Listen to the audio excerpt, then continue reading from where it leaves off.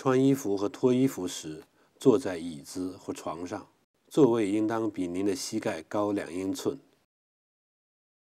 穿裤子时，用长柄取物器先将手术腿裤腿穿上，然后再穿好腿。移动到椅子边缘，将手术腿伸直，站立起来，然后将裤子提起。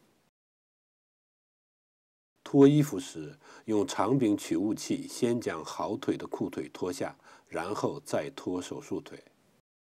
髋关节手术后不可以弯曲或扭转髋关节。为了遵守这些注意事项，术后头三个月内需要使用长柄取物器。膝关节手术后穿衣服时，您也许会有一些困难。这些穿衣服辅助工具有助于您能更独立。